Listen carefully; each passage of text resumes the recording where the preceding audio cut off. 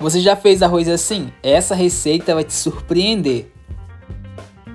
Em um recipiente vou adicionar uma xícara de arroz e logo após adicionar água até cobrir. Lembrando que a minha xícara tem 240 ml.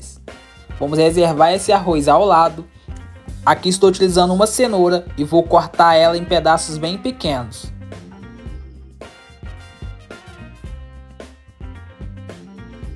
Vou repetir o mesmo processo com uma cebola.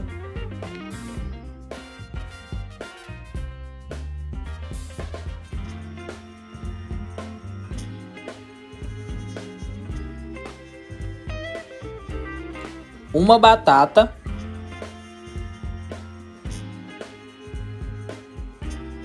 Não esqueça de colocar essa batata na água para não escurecer.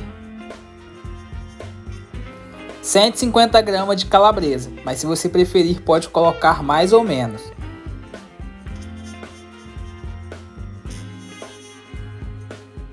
Em uma panela vou adicionar 3 colheres de sopa de óleo, toda a nossa cenoura, a batata, a cebola e a nossa calabresa. 3 dentes de alho já triturados. Vamos misturar e deixar refogando muito bem. Para temperar, utilizei sal a gosto, pimenta do reino também a gosto. Volte a mexer. Logo após, vamos adicionar uma xícara de água. Vamos deixar até essa água começar a ferver. Vamos adicionar todo o nosso arroz já lavado. Com o auxílio da própria colher, vamos espalhar esse arroz muito bem, igual estou mostrando aqui no vídeo. Vamos fazer nesse arroz quatro buracos.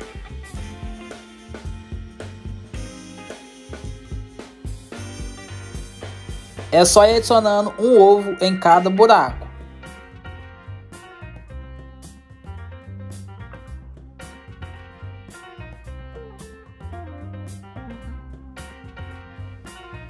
Vamos tampar e deixar cozinhando até secar toda a água.